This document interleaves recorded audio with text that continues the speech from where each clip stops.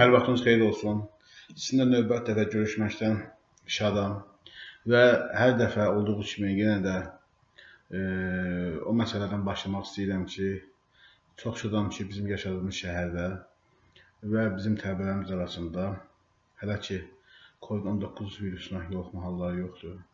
Təbii ki, şəhərimizə də tələbələrimizə görə şad olsaq da, çox təəssüf olsun ki, artıq ölkəmizdə 300-ə yaxın belə yoluxma halı qeyd olunub və nəhayət Bu günə kimi 4 nəfər öz dünyasını dəyişib ki, onlara da Allahdan rəhmət edirik.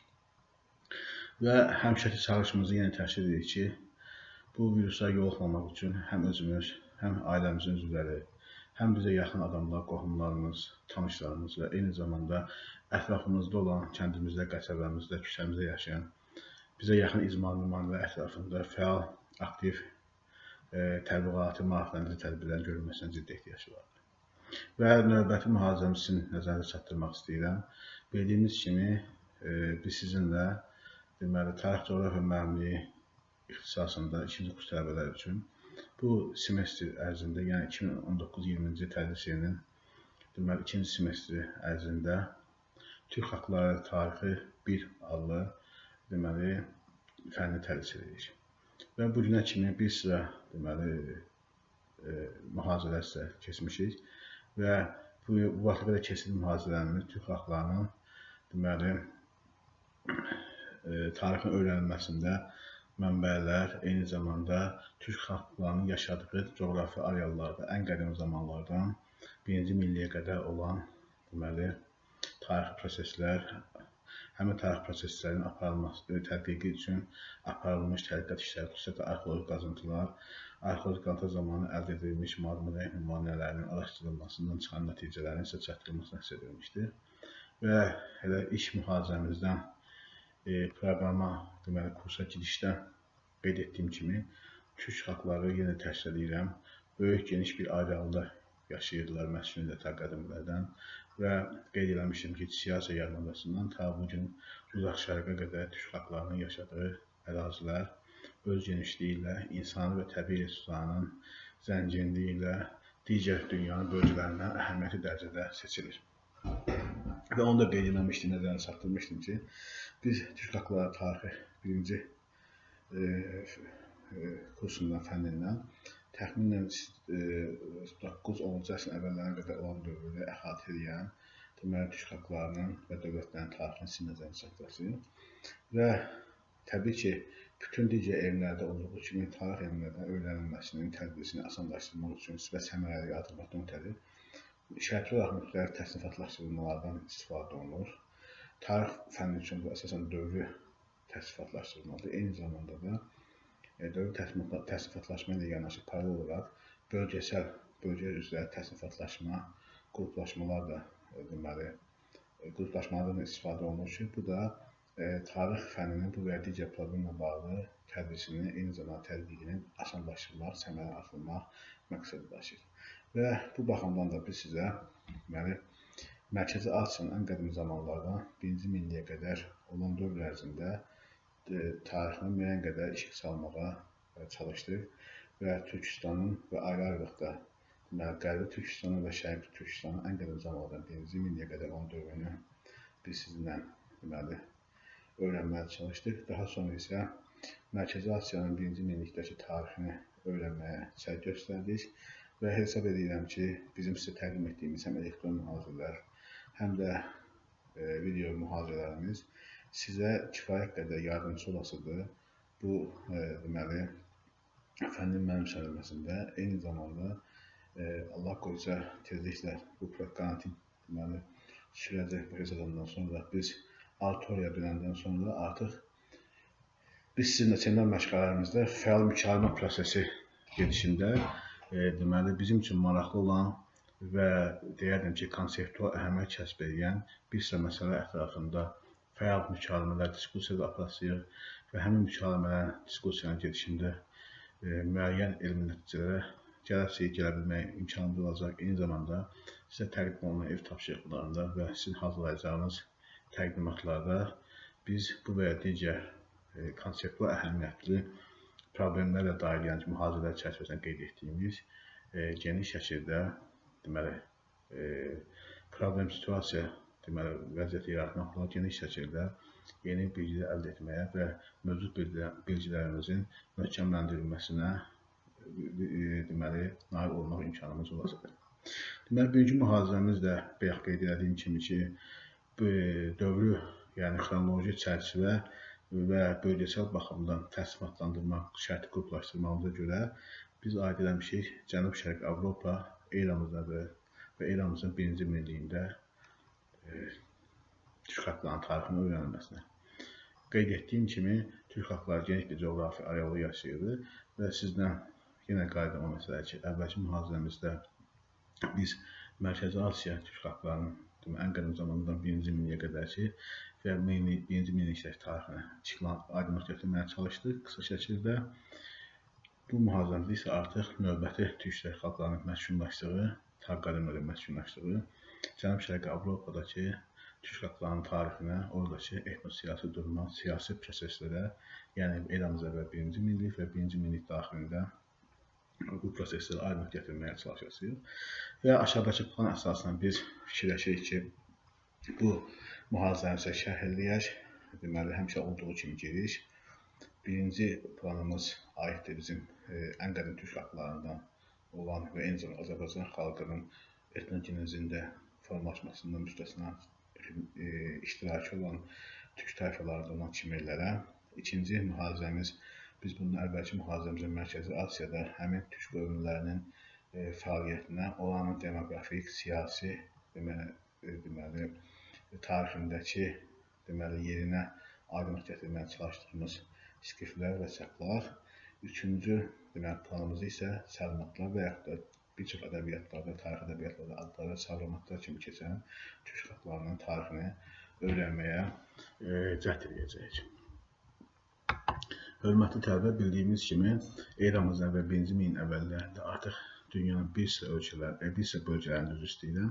Xüsusilə də Avropada və onun cənub şərqində dəmir dövrünə keçid başlamış. Ümumiyyətlə burada bir haşiyə çıxıb qeyd etmək istəyirəm ki, biz həmişə sizə bu və digər fəni tədris edən zaman həm e, insanların, yəni bəşər övladının dünyaya gəlməsindən, deməli, sinfi cəmiyyətlərin meydana gəlməsinə qədər olan dövrdə ki, biz qeyd edirik daş dövrü, e, mis, mis dövrü, mis daş, e, mis daş dövrü, e, daş dövrü,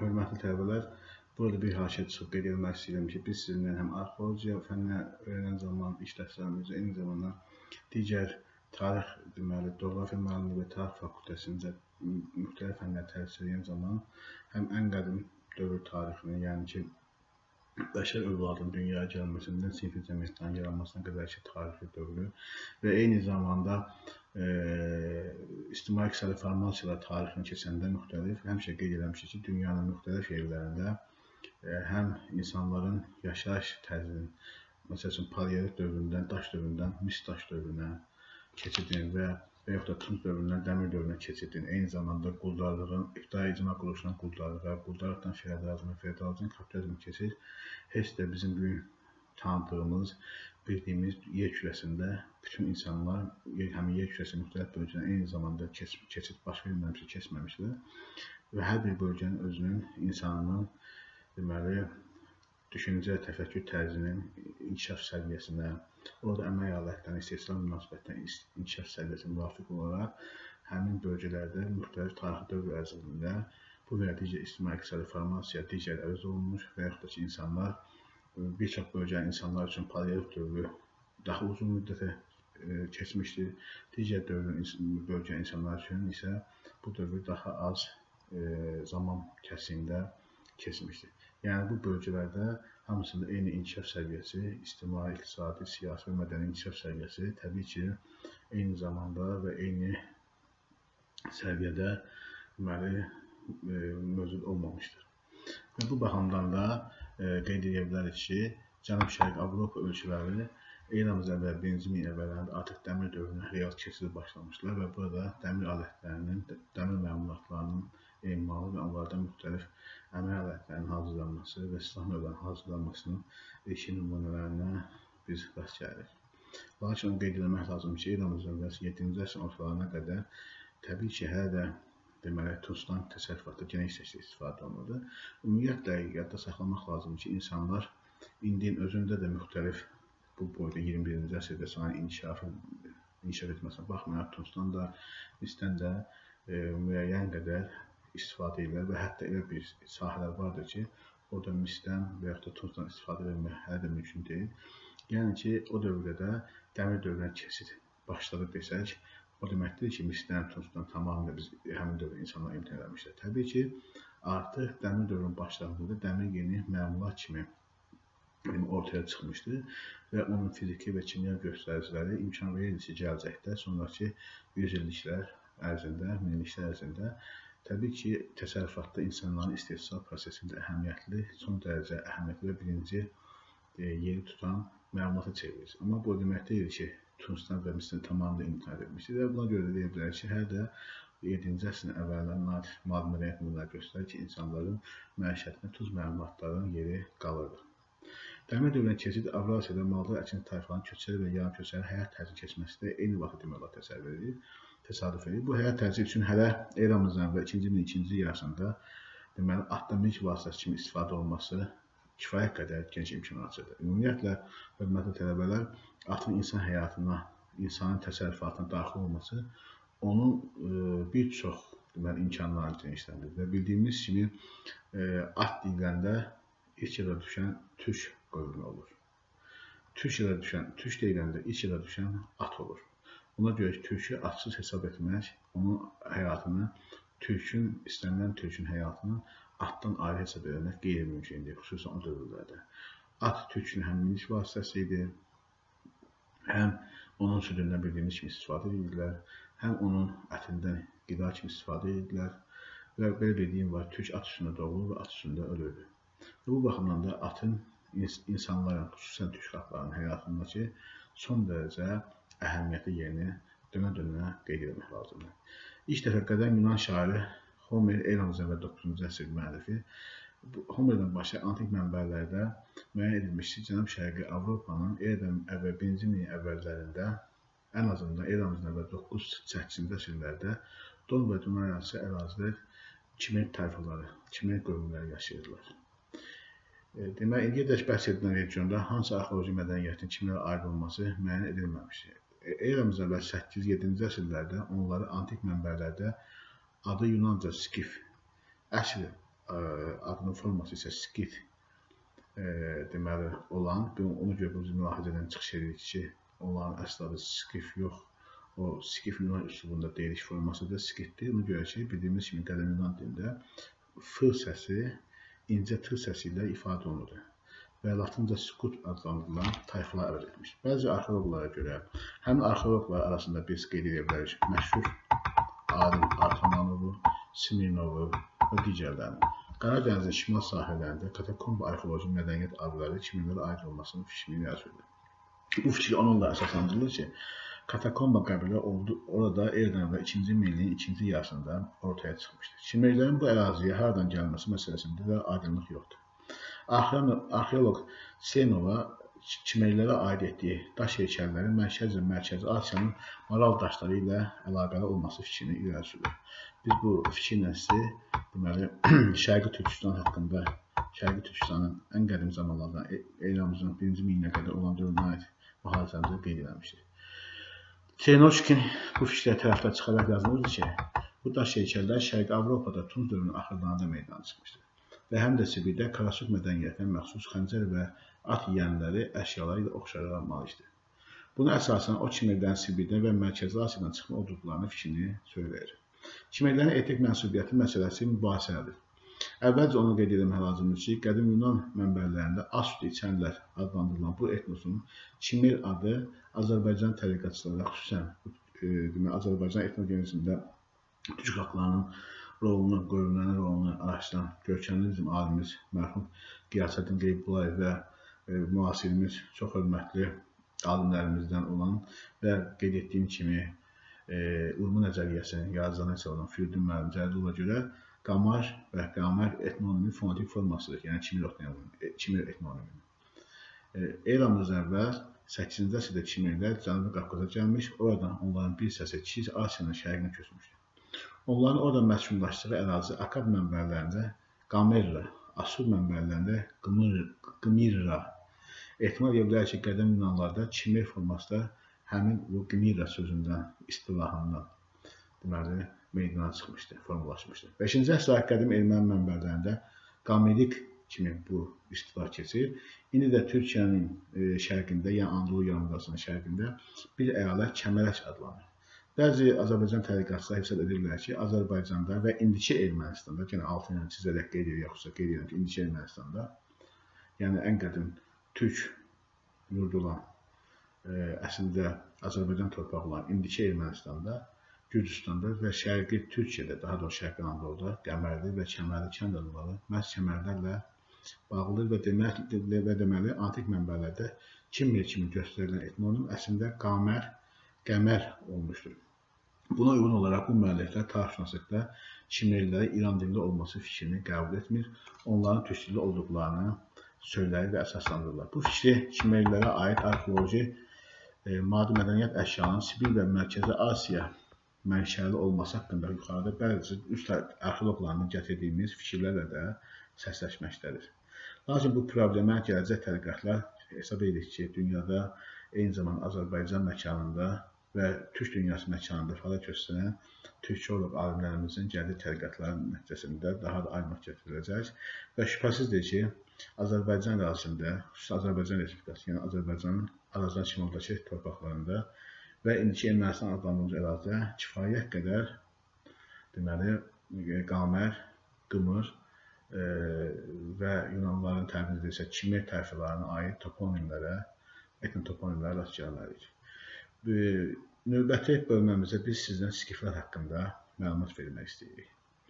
Və mən sizə qeyd etmişim ki, skiflərin deməli e, Mərkəzi Asiyadakı e, etnosiyasi proseslərdə iştirakı, demoqrafik cəhətdən Mərkəzi Asiyada onların deməli e, e, kəmiyyət baxımından, əhalinin kəmiyyət baxımından üstünlük təşkil etməsi və hətta ötən mühazirədə qeyd etmişdim ki, skiflər daha doğrusu saxlar o qədər güclü və qüvvətli idilər ki, Mərkəzi Asiyada baş verən proses, siyasi prosesləri şəkilləndirmək imkanları var idi və bu baxımdan da hətta hansı döyüşən ordunun tərkibində skiflər olaraq e, müttəfiq idilərsə, yaxın idilərsə, e, qarşı tərəf artıq özünün məğlub olduğunu hesab edir ki, qarşı tərəfin ordusundan skiflər saxlar, iştirak edir.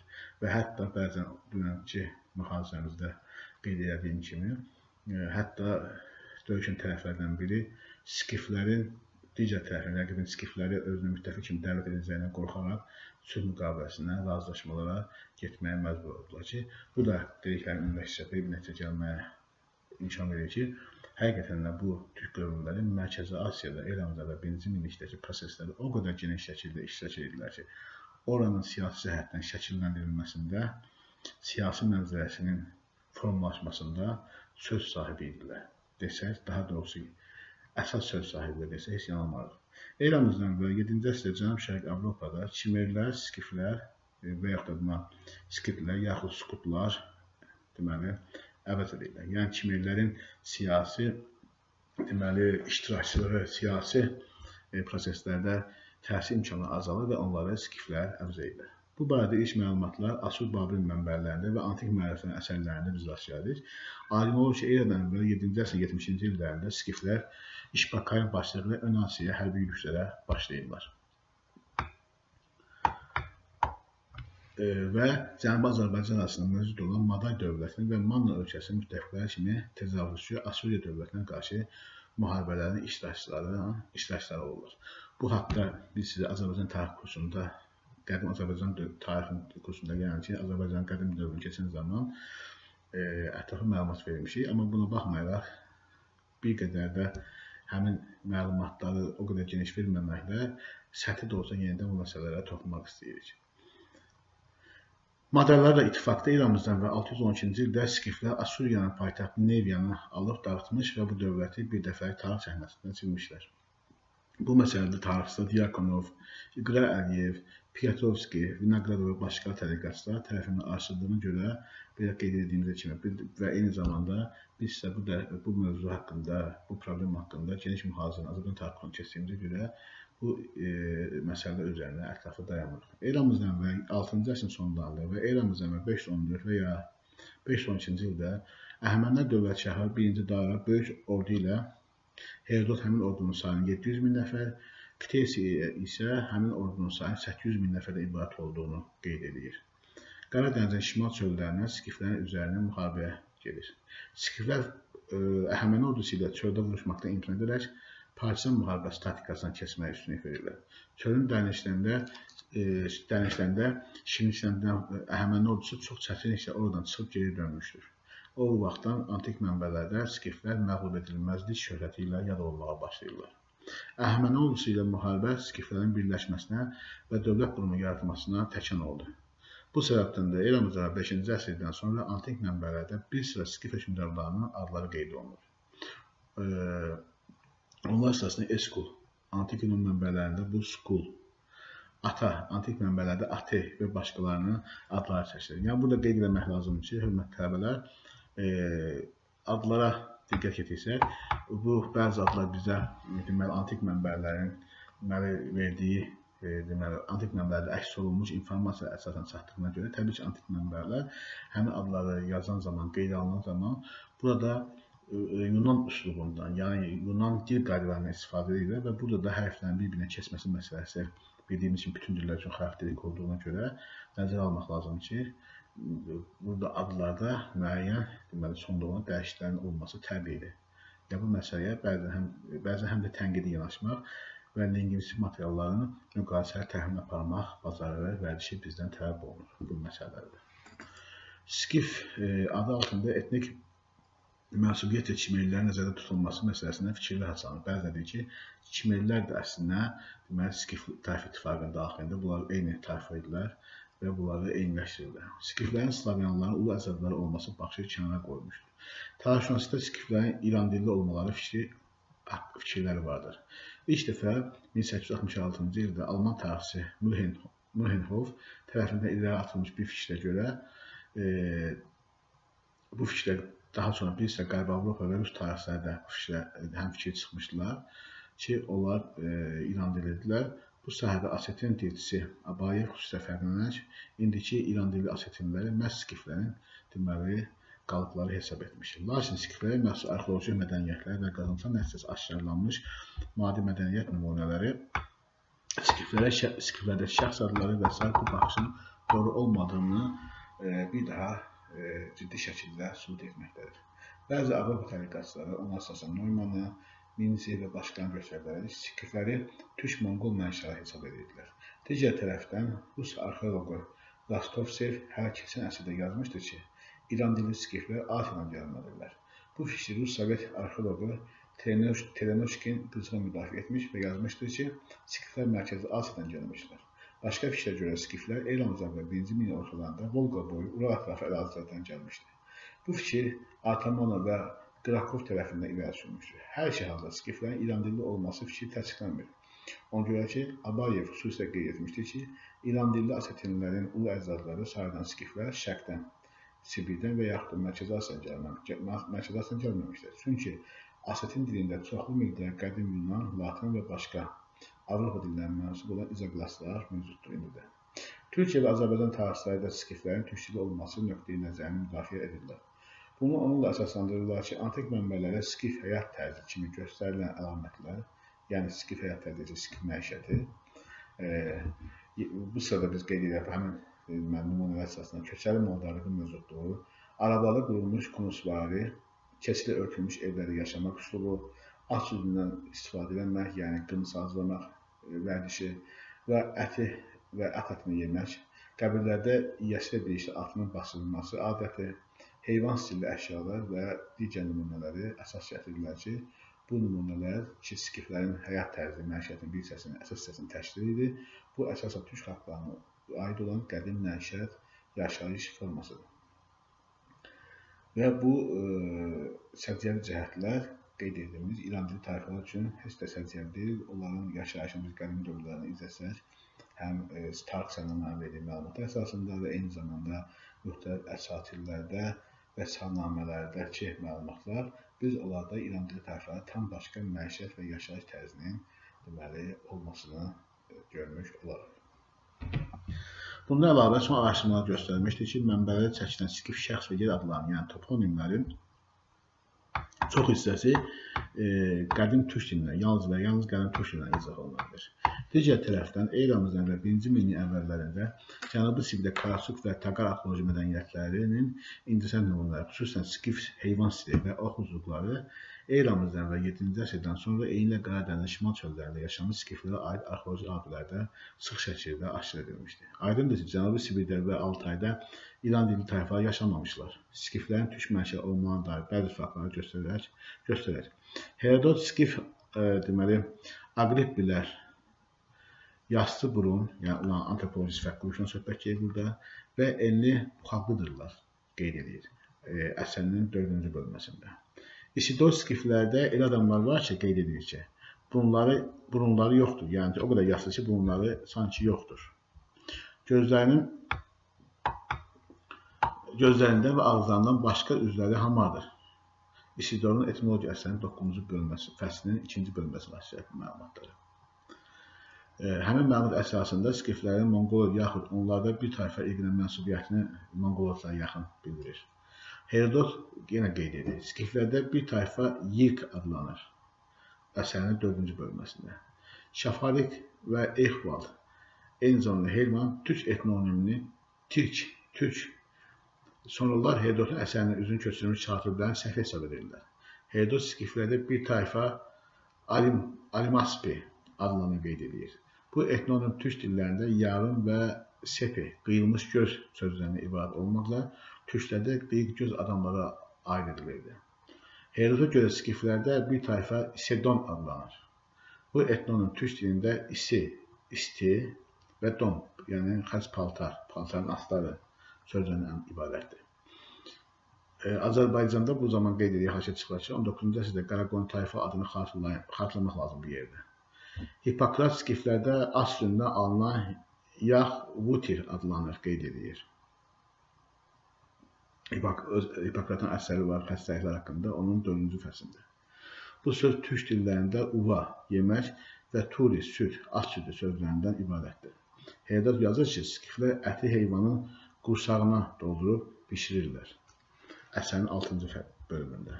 Bu adətlər də türk xalqlarında indi vardır. Beləliklə, tarixşünaslıqda skiflərin qədim türk dili sayılması fikrinin doğru olduğunu demək üçün təsdiq olunmaz yetərincə əlimizdə faktlar vardır. Aşağıdakı faktlarda bunu təsdiq edir ki, eramızdan əvvəl 6-cı əsr və sonraki əsrlərə aid edilən kurqanlar da orada tapılan maddi mədəniyyət nümunələri də bir daha bu fikrimizi, e, deməli, skiflərin türk mənşəli olması fikrimizi daha da möhkəmlədir.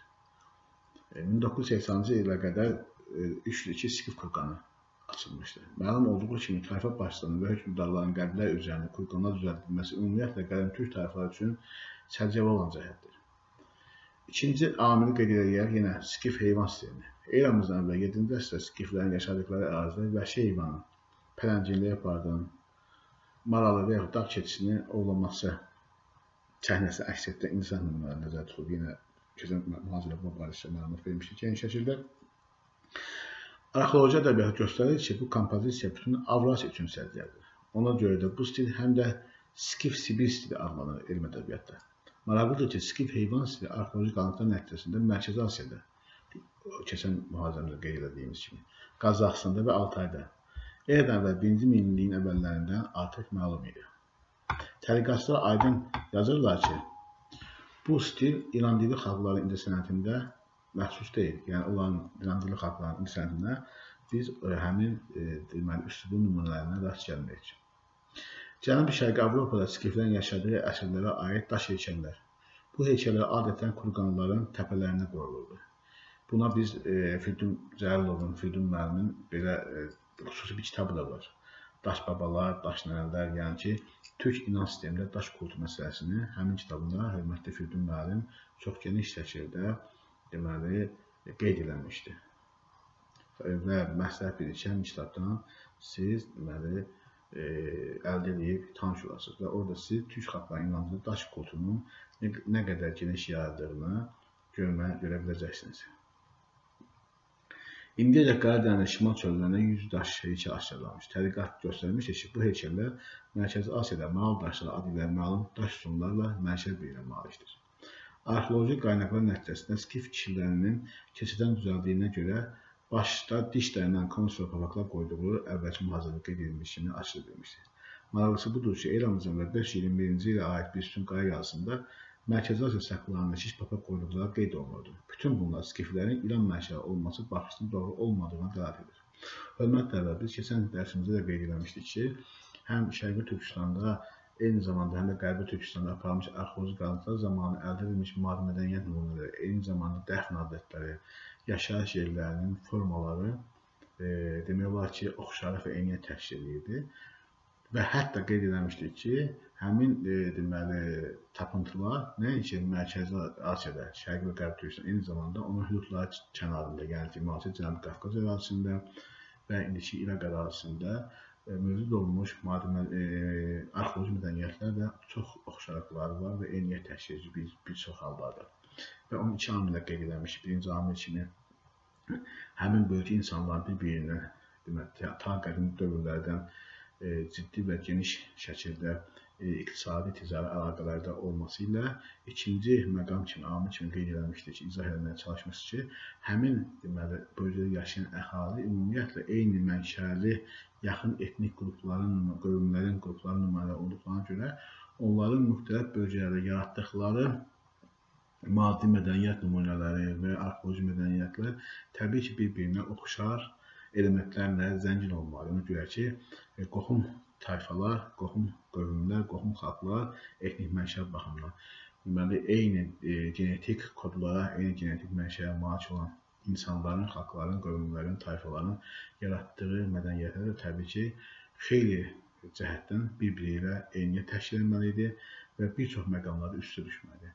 Və bunun eynində artıq bu mühazirəmizdə də qeyd edilmiş məqamlarla da siz buna növbəti dəfə şahid ola bilərsiniz və əminliyimiz bizim ki, əvvəlki mühazirədə dediyimiz bu fikirlərimiz e, deməli əminliyimizi bir daha artırır ki, burada həm iqtisadi münasibətlərin e, e, ciddi şəkildə geniş, geniş olmasından eyni zamanda daha çox şəxsən özüm həmin fikrin tərəfdarıyam ki, həmin bölgələrdə qeyd etdiyim bölgədə yaşayan əhalinin eyni genetik mənşəyə, etnik yaxınlığı və e,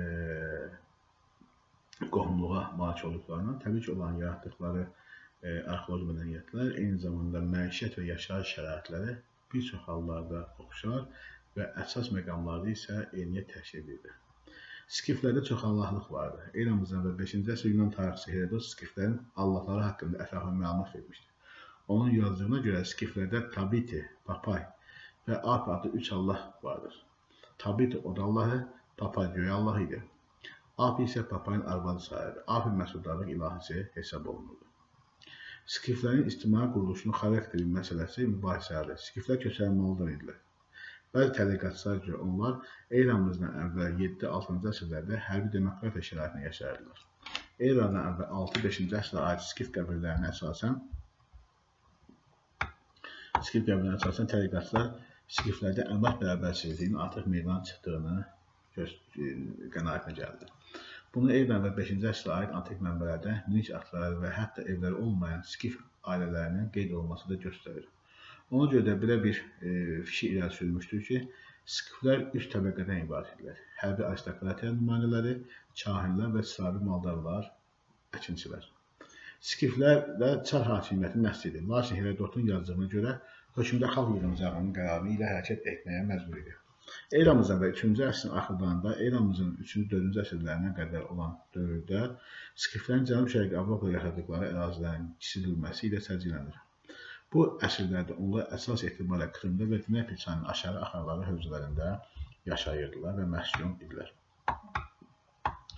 Birinci əsr Yunan müəllifi Strabona görə skiflərin hökmdarı Skilurin eramızdan və 2-ci əsrdə deməli hakimiyyətdə və onun oğlu Pallakın paytaxtı Krımda yerləşirdi. Palaki xalq başqa mənbələrdə Xabin, Xab kimi bunu ad gedir bu şəhərin və Neapol qalaları Skif hökmdarlarına məxsusdur. Eranın 3-cü əsrin ortalarında Alman tayfaları olan qotlar Skif dövlətinə son qoydular. Onların Cənub-Şərq Avropaya gəlişindən sonra mənbələrdə Skifin adı artıq çəkilmir. Və daha çox bu proseslərdə Hunlar adları çəkilir ki, bu haqda biz sizə daha sonraki mühazirədə daha ətraflı məlumatlar verməyə çək göstərsək. Növbəti bizim sizə çatdırmaq istədiyimiz məsələ qədim türk tərəfindən olan savramatlar və yaxud da bir çox e, tarix ədəbiyyatda ad keçən savramatlar haqqındadır. Deməli, tədqiqatçıların məlumatlarına görə eramızdan əvvəl 9-cu əsrin sonu və ya 8-ci əsrin əvvəllərindən başlayaraq eramızdan da 7-ci əsrin sonlarına qədər Volqa-Don çayları arası ərazidə antik mənbələrdə adı Savromat, sonrakı mənbələrdə Sarmat kimi bu ad qeyd olunur, tayfalar yaşayırdılar. Onlar skiflərin, skiflərin şərqində qonşuları idi və skiflər kimi malda həyat tərz edirdilər. Savromat adını ilk dəfə Herodot deməli çəkmişdir. O yazmışdı ki, Tanais çayından şərqdə e, Tanais çayını bugün tədqiqatçı Don ilə lokalizə edirlər, eyniləşirlər. Savramatlar yaşayırlar. Onun qeyd etdiyi rəvayətə görə Savramatda Skif oğlanlarının nicahlarından törənmiş, e, deməli, törəmişlər. Əlbəttə, bu təbii ki, rəvayətdir, amma e, bir çox rəvayətlər tarixi bildiyimiz kimi bərpa. Bu, bu və digər zamanlı tarix bərpa olunan zaman e, tədqiqatçılar bu rəvayətlərdən də deməli e, antik müəlliflərin əsərlərini yer tapan rəvayətlərdən istifadə edirlər və öz əsərlərini qəhrəmanlığa e, deməli həmin qeydləri də əks etdirirlər.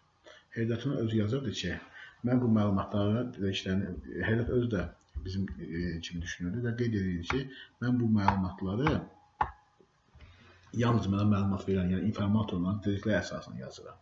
Yəni bununla da o qeyd edir ki, mən demirəm ki, bu dəqiqdir. Sadəcə mənə informasiya verən informatorlar, bu məlumatları verən şəxslər bu, bu məlumatları mənə vermişlər. Mən də olduğu kimi söhbət əsnasında onlarla götürdüyüm qeydləri deməli burada qeyd edirəm. Və bu qeydlərdən nəzərə alaraq biz yəni, savunmatların e, deməli cəmiyyətində qadınların rolunun genişliyi haqqında ilkin fikirlər söyləyə bilərik. Onlar kişilərlə yanaşı at minirdilər, məişət baxımından gündə həyatlanır və döyüşürdülər. Həydə xüsusi qeyd edir ki, savranmaq qız bir düşmən öldürməmiş ələ getmir. Yəni burada gördüyü kimi qadınların mövqeyi cəmiyyətdə əhəmiyyətli idi, geniş idi. Eramızdan və 5-ci əsrdə savramatlarla skiflərin qonşu münasibətləri pozulur və eramızda və 4-cü əsrdən etibarən savramatlar Azaq indi bu dənizə Azov deyirlər, dənizin sahillərində yaşamağa başlayırlar. Tədqiqatçılara görə savramatların, savramatların qərbi hərəkəti Cənubi Uraldan yeni köçəri tayfaların onların ərazidən gəlməsi ilə əlaqədar olmuş. Yəni ki, onları sıxlaşdırmağa başlamaq, başlamışlar həmin yeni tayfalar və ona görə də onların köçü zərurətə çevrilmişdir. Savramatların qərbi hərəkəti nəticəsində Cənub-Şərqi Avropada və xüsusilə Şimali Qafqaz çöllərində etnosiyasi, etnosiyasi vəziyyət dəyişməyə başlamışdır. Eramızdan əvvəl 4-2-ci əsrdə həmin savramatlar antik mənbələrdə Silmat və yaxud da Sarmat adlanırlar. Bu əsrlərə aid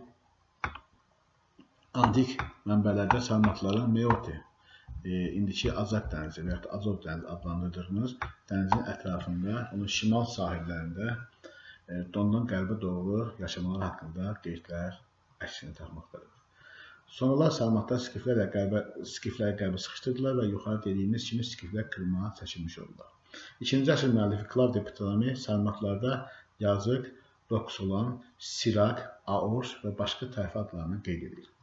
Eranın birinci əsrin ortalarında şərqdən, yəni Aral-Ura ətrafı ərazidən, əvvəlcə Don sahillərindən, sonra da Qara dənizin şimal çöllərinə alan tayfaları gəlir və onlar Sarmatların hakimiyyətinə son qoyurlar. Çin mənbəsi qeyd edir ki, Yançay mülkü indi alan adlanır. Bir neçə əsr müddətinə 1 və 4-cü əsr olması güman olunur.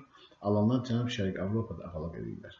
Onların ağalığına şərqdən gəlmiş onlar son qoydular. Arxeoloqlar Sarmatlarda adlı sanlı şəxslərin kurqanları dəfn edildiklərini müəyyən etmişdir.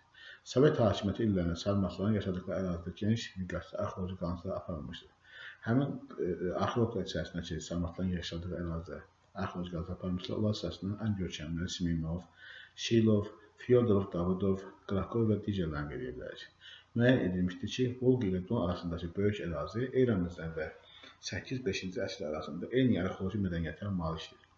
Savromat və, və yaxud da sarmatların qədim üzrə görkəmli mütəxəssis arxeoloq Smirnova görə bu tayfaların Volqa-Don arası və Samara, Samara Ural arası ərazilərdə iki lokal mədəniyyəti vardır. Onun fikrincə Sarımatlar mənşəcə Sibirin Andronovo arxeoloji mədəniyyətinin yaradıcılarından biri hesab oluna bilər.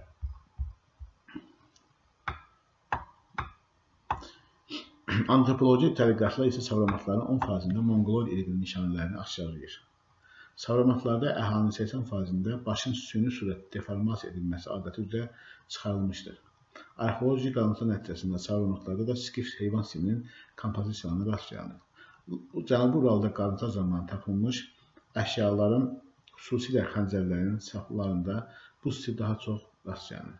Rusiyanın Orenburq vilayətində Proxorovka kəndində aşkarlanmış və bu kəndin adı ilə adlanmış Proxorovka arxeoloji mədəniyyəti eramızdan və 4-2-ci əsrlərə aiddir. Bu arxeoloji mədəniyyət oradan tapılmış e, deməli, mədəniyyət nümunələr salmatlara aid edilir.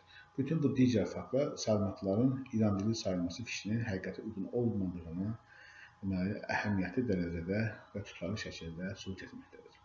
Sarmatların təsərrüfat həyatı skiflərdə və ümumiyyətlə qədim türk tayfalarında olduğu kimi əsas etibarda maldarlıq idi.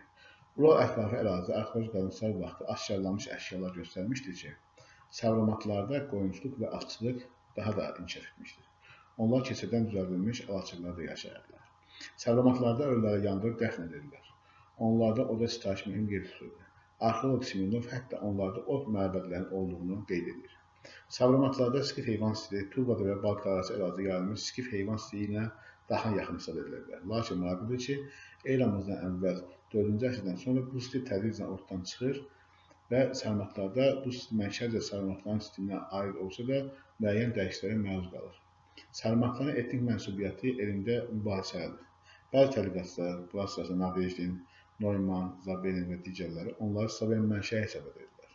Sonra isə sərmatların İran dilli olması fikri ortaya çıxdı. Mülhenhof, Spiegel, Müller, Fasmer, Harmatta, Abayev, Simirnov və başqaları bu fikri, deməli, onların İran dilli olması mülahizəsini müdafiəçilədir. Qiyasətin qeybulayıb salmaqdan tüksülü olması haqqında tutarlı faktlar elmə gətirmişdir. Antropoloji ədəbiyyatı göstərir ki, salmaqların tərkibində Qərbi Sibirin və Qazaxıstan dəmir dövrünün tayfaları iştirak edirlər.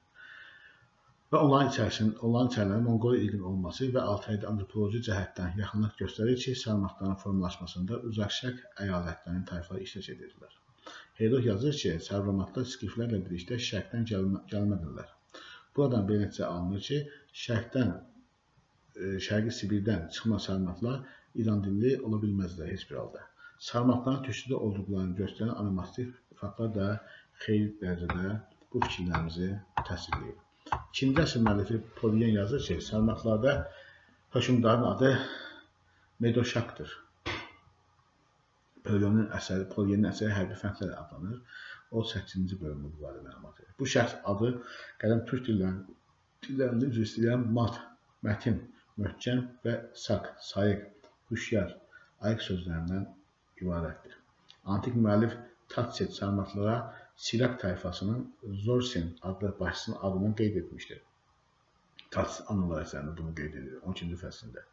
Latın dilində ç səs olmadan görə o şəxs adı əslində Çursin kimi bərpa olunur ki, bu da qədim türk dillərində çur, pəhləvan, güclü və kimi sanki sözüdür mənasında Çin, Çin sözlərindən ibarətdir. Yəni ki, pəhləvan kimi, güclü, sanki pəhləvan və s. ilaxır yozlar dediyimizdə. Strabon şiraklarda hökmdarın adını Abeyak adlandığını yazır.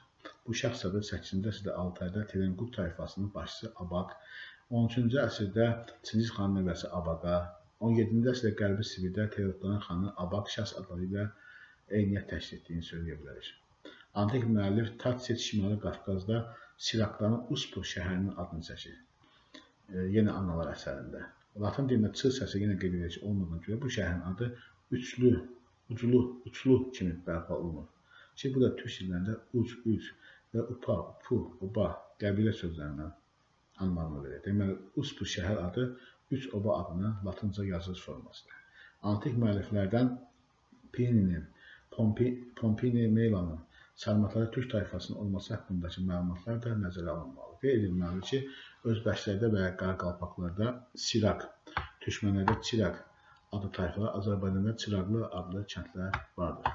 Yuxarı deyilənlərdən aydın olur ki, eramızdan və 1-ci minillikdə Cənub-Şərqi Avropada müxtəlif qədim türk mənşəli etnoslar gəşlərdi. Bu etnoslar erkin orta əsrlərdə göstərən regionda türk mənşəli dövlət qurumlarına deməli, tərkibinə daxil olurlar sonraki dövrdə. Hörmətli tələbələr, Bununla da biz sizinlə növbəti mühazirəni başa çatdırdıq və eyni zamanda qeyd eləmək istəyirəm ki, bu günlər siz deməli evdəsiz və e, kifayət qədər zamanınız var. Ona görə də ümid edirəm ki, bizim sizə təqdim etdiyimiz həm elektron mühazirələri, həm də video mühazirələri e, yaxşıca tanış olub, dinləyib, oxuyub e, əhəmiyyətli və möhkəmləndirilmiş bir işlə əldə edəsiniz. Və eyni zamanda ev tapşırığı olaraq sizə deməli, vermək istəyirəm ki, deməli, biz sizin artıq e, Qədim Türkistan haqqında Mərkəzi Asiyanın birinci minlikdə və Cənub-Şərqi Asiyanın yəni baxın, Cənub-Şərqi Avropanın birinci minlikdə tarixinə dair müəyyən qeyd elədik və xahiş edirəm ki, qrupda təxminən 30 nəfərdən ibarətsiz. 3 e, qrupa bölünərək hər hansı deməli, e, biriniz Şərqi Türkistan, digər qrupumuz Qərbi Türkistan, və nəhayət başqa bir qrupumuz isə Cənub-Şərqi Avropada yaşayan türk xalqlarının tarixinə dair deməli informasiya kommunikasiya texnologiyalarından istifadə etməklə gözəl bir təqdimat hazırlayasınız. Yəni burada slaytlarda şəkillər də olsun və məsələn belə qeyd edən Firdun müəllimin kitabı var, e, daş kult haqqında, daş inancı haqqında türklər. Orada kifayət qədər belə qeyd edin kimi kurqanlar, kurqanlar üzərinə uzadılan e, daş baba heykəlləri, mengellər və digər haqqında əhəmiyyətli məlumatlar var burada. Və bunların hamısından qəşəng e, deməli e, yüksək keyfiyyətli təqdim hazırlamağı sizdən xahiş edirəm. Və təbii ki, gələndə həmin təqdimatları seminar məşğələlərimizdə izləyərik, bir yerdə müzakirə edərik. Hətta buradan istifadə edə bilərsiniz təqdimatlarda internet şəbəkəsində olan həm audio, həm də video materiallardan ki, son dövrdə də xüsusən Facebook şəbəkəsində müxtəlif e, türk dünyasına daxil olan ölkələrin vətəndaşları tərəfindən və yaxud da ki, bir çox e, deməli e, türk dünyasında yaşayan alimlər tərəfindən birlikdə yaradılmış səhifələr var ki, o səhifələrdə türk xalqlarının qədim dövr tarixinin, deməli arxeoloji mədəniyyətlərinin tarix, tarixinin eyni zamanda ortası və yeni tarixində kifayət qədər audio, video materiallar vardır ki, həmin e, deməli təqdimatların hazırlanması zamanı həmin materiallardan geniş şəkildə yararlansanız, bizim işin xeyrinə olar. Həm də özünüz bu prosesdə, yəni ki, e, bu slaytları hazırlayan zaman, təqdimat hazırlayan zaman kifayət qədər yeni bizim mühazirələrimizdə olmayan məlumat əldə edə bilərsiniz. Onu nəzərə almaq lazımdır ki, mühazirə həmişə qeyd etdiyimiz kimi kifayətlənmək olmaz. Mühazirə bu və digər e, problemin tədris proqramına nəzərdə tutulmuş, şərhinə həsr olunmuşdur və təbii ki, müəllimlər bu mühazirəni hazırlayan zaman onları ümumiləşdirməyə, qısaltmağa çalışırlar. Ona görə ki, bu və digər problemi bir mühazirə çərçivəsində tam aydınlaşdırmaq, tam şərh etmək qeyri-mümkündür.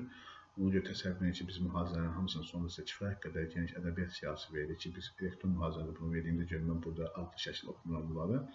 Sizdə də var və görürsünüz ki, hələ bizim sizə təqdim etdiyimiz mühazirənin sonunda və bəzi mənlər bunun əvvəlində qeyd edirlər. Ədəbiyyat siyasına bir problemə dair ondan çox, 20-dən çox deməli biz ədəbiyyat qeyd edirik əslində bu prosesin e, problemin daxilində varsa, bunun daha çox yüzlərlə bir ədəbiyyatın və tarix qaynaqları olmasını görəsiniz. Ona görə lazımdır ki, e, siz həmin mühazirə, təcrid mühazirələrini biz kifayətlənməyək və e, əgər biz yaxşı mütəxəssis olmaq istəyirsə, yaxşı tarixçi olmaq istəyirsə, bizim sizə təqdim etdiyimiz mühazirələrdən əlavə qeyd etdiyim deməli resurslar vasitəsilə də öz biliklərinizi artırasınız. Və e, onu da qeyd edeyim ki, Bugünkü dövrdə deməli internetdə şəbəkəsində o qədər zəngin materiallar var ki, bunların təxminən 0 e, mində 1%-ni öyrənmək özü bizim deməli təbəələrimizin dünya görüşünü, biliklərinin artırılmasından müstəsna deməli e, əhəmiyyət kəsb edir. Mən sizə yenə uğurlar arzulayıram, hamınıza salam söyləyirəm və həmişə olduğu kimi yenə xahiş edirəm, mən salamlarımızı valideynlərimizə çatdırın və özünüzdən müğayət olun ümid edirəm ki, növbəti mühazirələrimizi həmişə qeyd etdiyim kimi tez bir zamanda video, video deməli körpü üzərindən yox, real dərs şəraitində biz keçəcəyik. Çox sağ olun, təşəkkür edirəm.